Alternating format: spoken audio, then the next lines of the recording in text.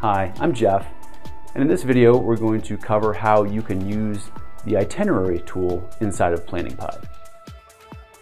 Let's add some items to an itinerary inside one of our events. We're going to click on the Events tab, and then we're going to go to that particular event, and then we're going to find the itinerary tool right here.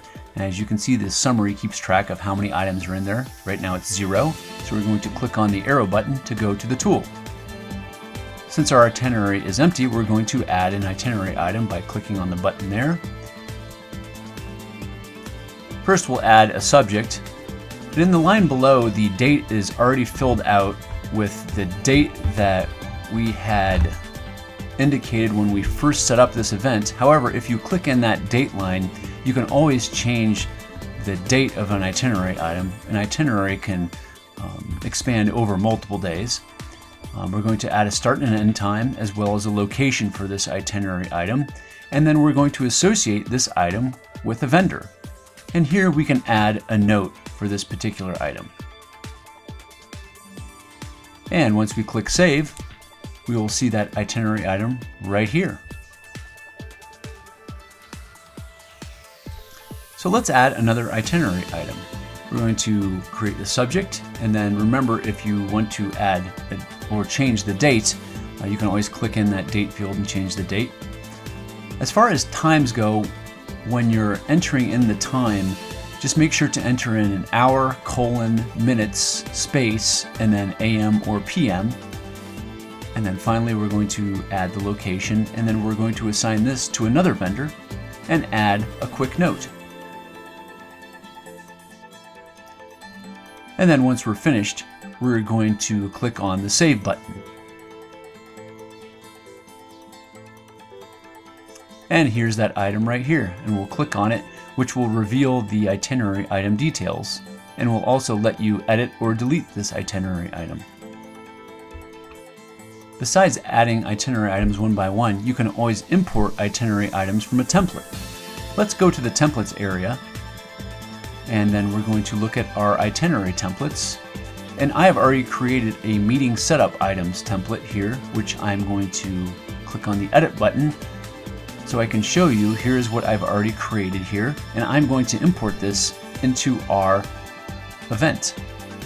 So I'm going to click on events, go back to our events, click on the itinerary tool, go up to the drop down menu and click on import itinerary template.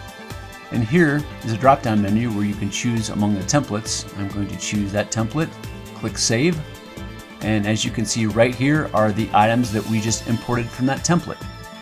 So we're going to need to change the dates for all these items, so I'm going to click on all of them, and then in the Actions menu on the right, I will click on Change Item Dates. And I'm going to change that date to the date of the event which is April the 16th.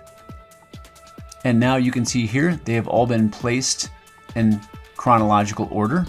However, I'm going to need to change the times on a few of these, so I'm going to click on one of those items we just imported, hit the edit button, and I'm going to change the start time for this. And I'm going to also add a location to this item.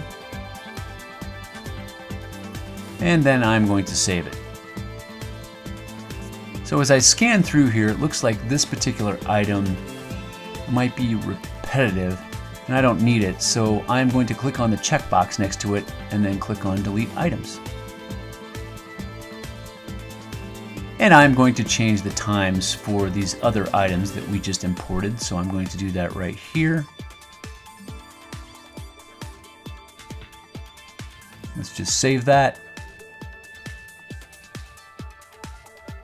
And then this item here, I'm also going to change. We'll leave the start time at 9, but we'll put the end time at 9.45. We'll add a location for this, and also associate this with a vendor. And maybe add, well, we're not going to add a quick note, we're just going to save that. And now you can see all of the itinerary items we've just added in chronological order. If you wish, you can also save this itinerary as a template by clicking on this link right here. and then we'll just type in a name of the template and this template will be stored under this name in the templates area under itinerary templates. In case you need to notify some contacts that you've made some changes to the itinerary, you can just go up here to the drop down menu and click on notify contacts. Then click in this blank field and select the contacts who are also people who have been invited into this event, and then click Save, and they will receive an email notification. Finally, you can download a PDF of the itinerary.